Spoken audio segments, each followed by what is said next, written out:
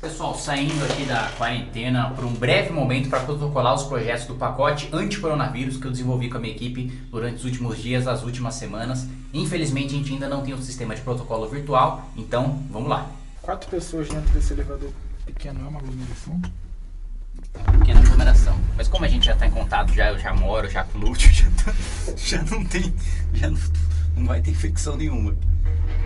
Nenhuma nova aqui no. E aliás, o nosso assessor, que não está aqui, está trabalhando conosco de maneira virtual, o querido Warley Miller, faz a diferenciação. Quem, quem fica infectado são pessoas, contaminação é de objetos, segundo o nosso mestre em ciências da saúde. Pessoal, enquanto a gente vai para a Câmara dos Deputados, eu vou explicando para vocês é, o, todos os projetos do pacote anti-Covid.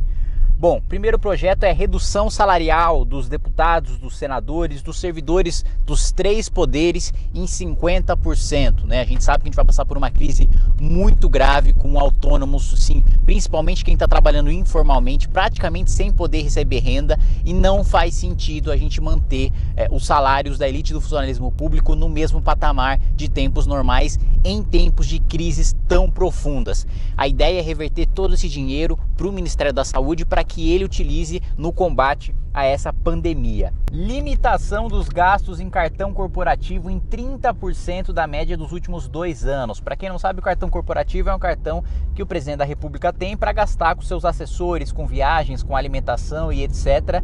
É, no ano passado, a estimativa de gasto foi de 15 milhões de reais, mas não tem sentido a gente manter esse mesmo patamar. O presidente da República não precisa viajar e não deve, aliás, viajar para fora nem ter gastos com acomodações de luxo nesse momento de contenção de gastos isenção na cobrança de água e esgoto para todas as pessoas físicas e jurídicas. A gente sabe que vai ter grande dificuldade de pagar água, conta de luz, de é, água, de esgoto, é, principalmente para as camadas mais pobres, mais vulneráveis da população. Então a ideia é justamente fazer com que o governo arque com esses custos né, de maneira excepcional enquanto durar a pandemia, porque também não tem como a gente é, arriscar ter pessoas mais pobres tendo a luz ou a água cortadas nesse momento de crise, né? nesse momento de pandemia que as pessoas sequer podem sair de casa para trabalhar e quem é informal não é, não é culpado pela pandemia, é óbvio, e não pode ser penalizado tão duramente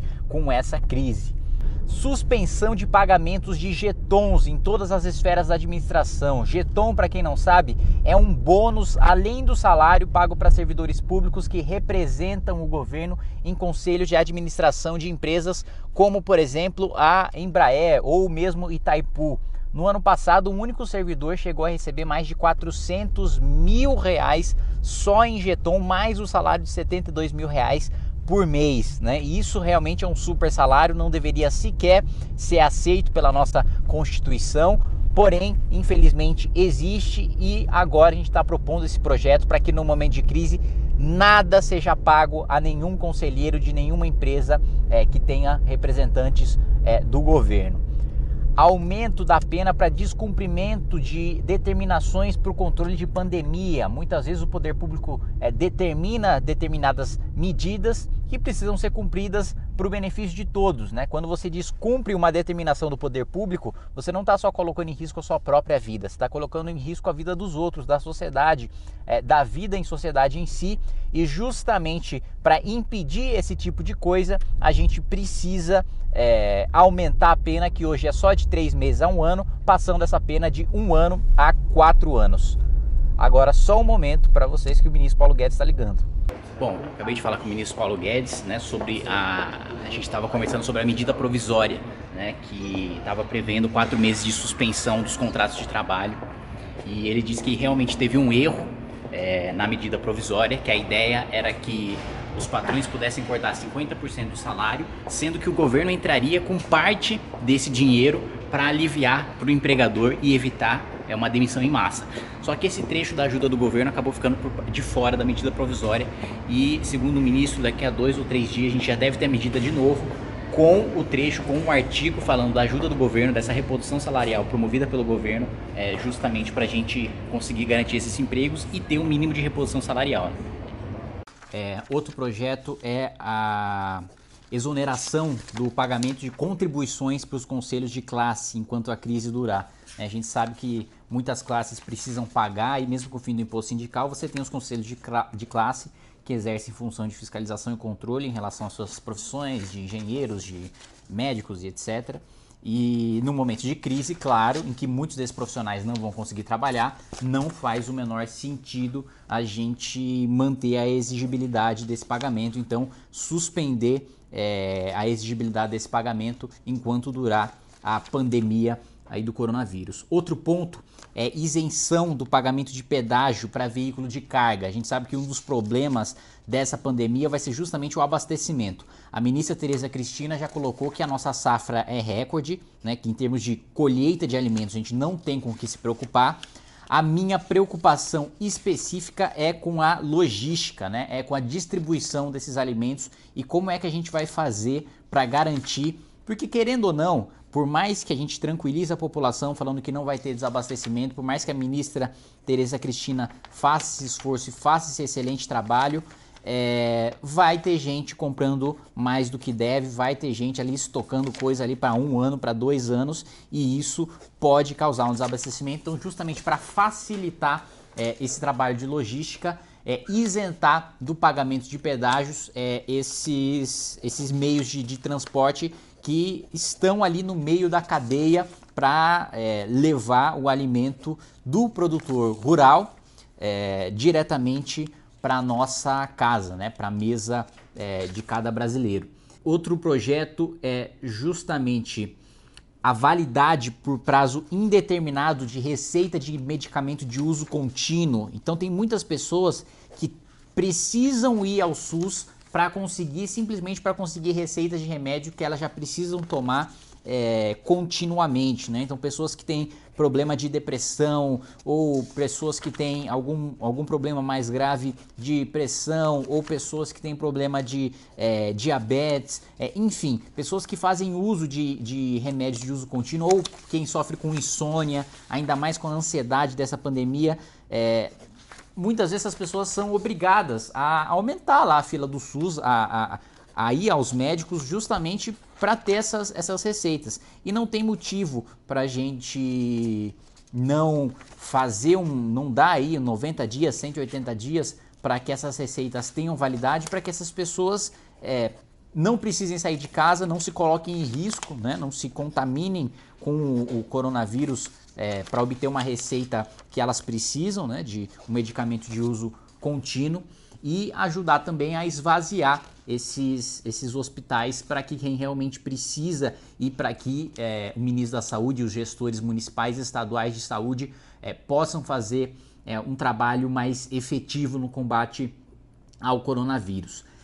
Limitação nos gastos de publicidade, né? A gente sabe que é, publicidade pública, né? Publicidade estatal.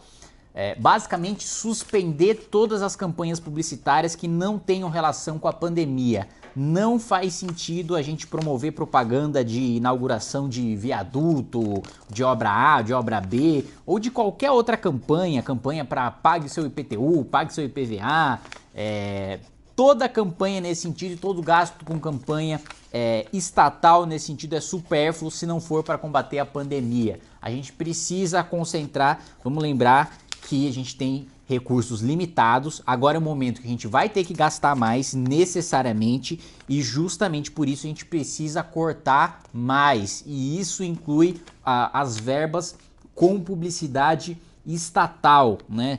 Tudo que for absolutamente necessário para o combate à pandemia e tiver relacionamento com o combate à pandemia deve receber recurso. O que não tiver, aí fica para depois, fica para quando a gente superar toda essa crise.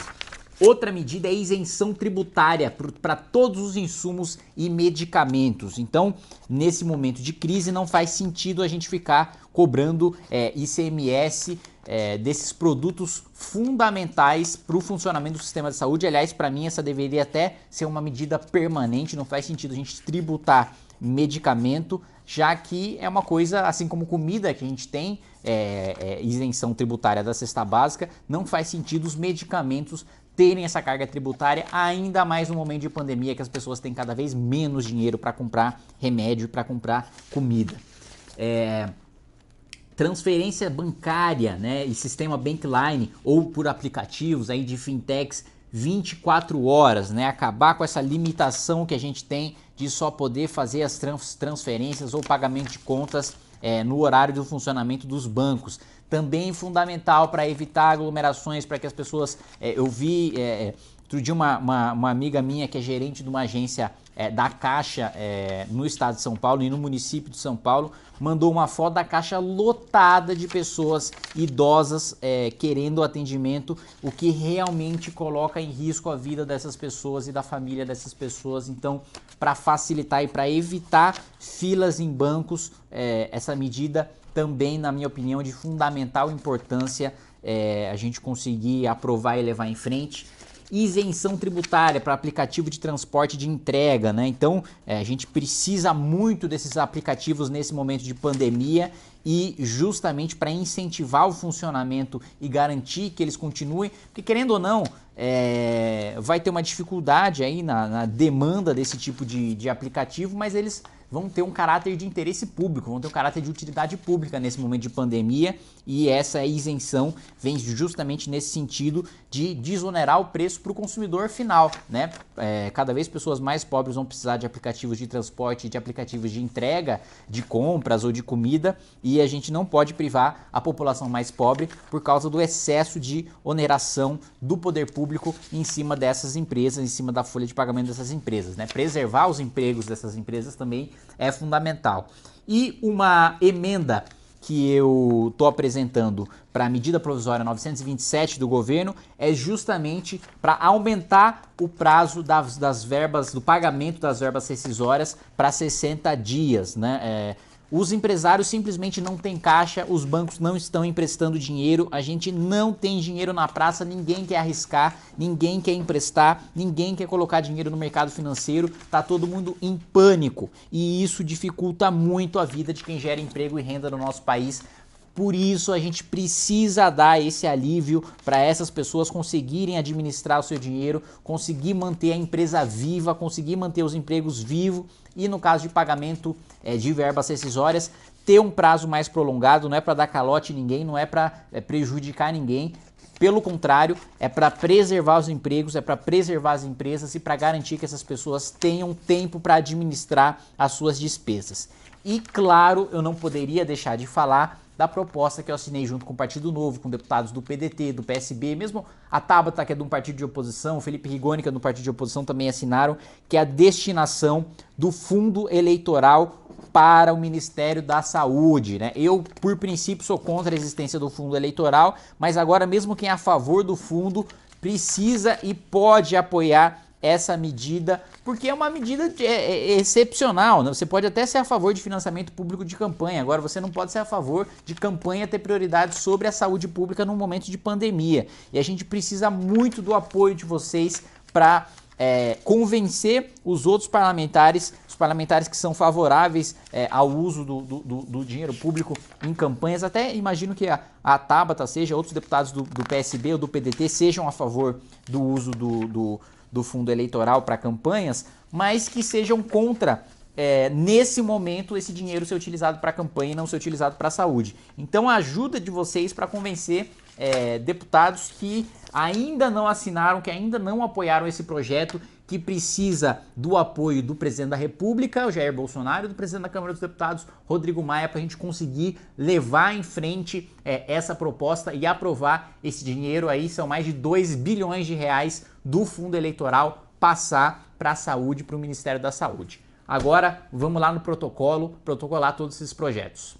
E tem um projeto também para revogar todos os direitos dos assessores, o pagamento de viagens de ex-presidentes da República enquanto durar a pandemia. Né? Como eu disse, todos os gastos supérfluos precisam ser cortados nesse momento que a gente precisa criar espaço fiscal, criar dinheiro novo para passar para o Ministério da Saúde. Não faz sentido ficar mantendo ali 6, 7, 8, 9, 10, 12, 100 assessores para Lula, para Dilma, para Fernando Henrique, para Collor durante esse momento de crise de pandemia. Todo esse dinheiro gasto com os assessores, com as viagens dos ex-presidentes da República, precisa ser direcionado para o Ministério da Saúde. Esse é o pacote Covid.